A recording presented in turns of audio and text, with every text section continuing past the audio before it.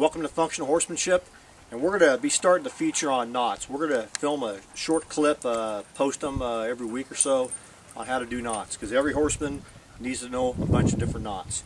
First knot here I'm going to teach you is called a bowline, bowline knot, B-O-W-L-I-N-E. It's used as an anchor knot. Uh, it's a non-slip knot. I'm going to demonstrate with this tie rail. I've Got a length of uh, nylon cord here. Put my running end over it on my anchor end, all I'm doing is taking the rope and putting a loop.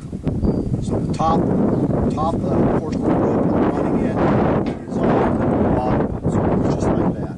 Again, just making a loop.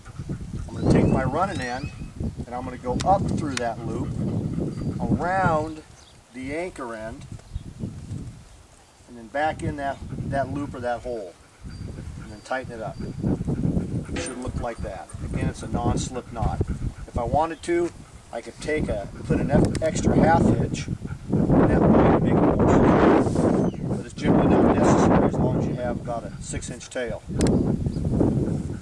Again, this is a bowline. It's a non-slip knot. I'm going to put my running end over the tie rail here. I'm going to go ahead and make a loop.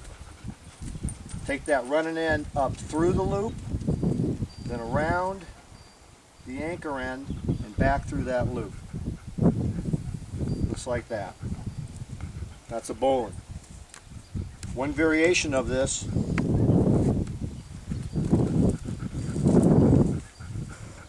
I can tie this without going over anything. I'm going to tie it in the same manner.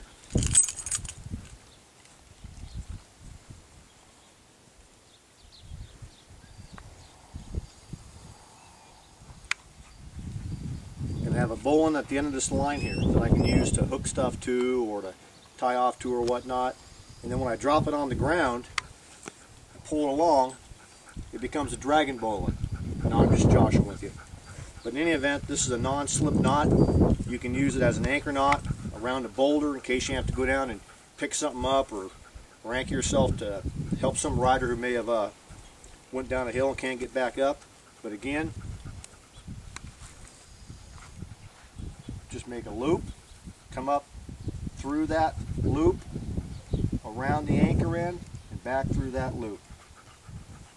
It's a bowline knot. One you should know if you want to be a complete horseman. Have a good day.